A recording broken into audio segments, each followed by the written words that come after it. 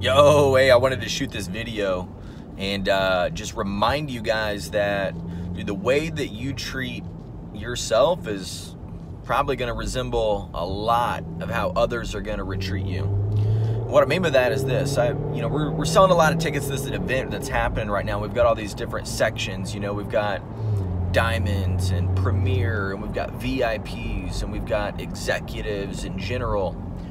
And I get a lot of messages from people online trying to buy tickets, work deals.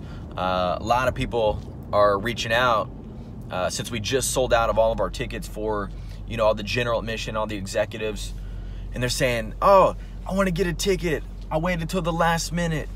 Oh, can you get me a seat?" You know, and I'm like, "Man, yeah, I can get you a seat. We've got VIPs left." And then they're saying, "Oh, like I wouldn't do the VIP."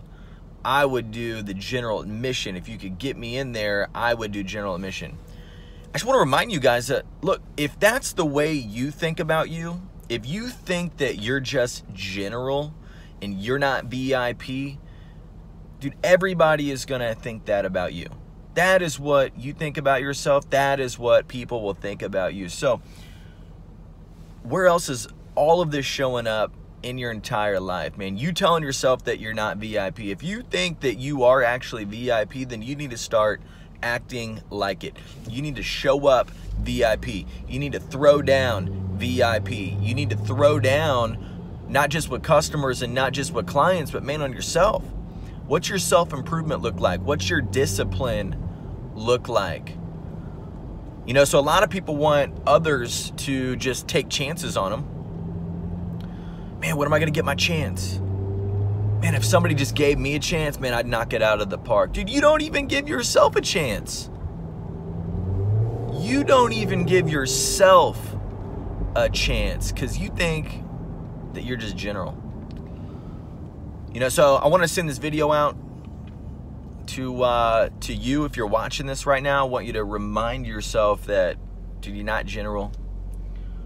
Okay, you weren't created, whatever happened here uh, with you and this existence on this planet, dude, it was big.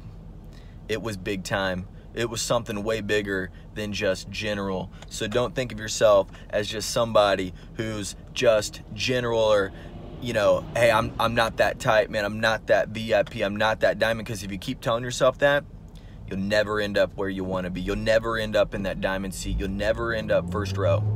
So throw down, go hard, believe in yourself first. Know that you are worth it. Know that you can do whatever you want to the degree that you have these limiting beliefs about yourself. So knock those off. Do great things. You guys have a great day.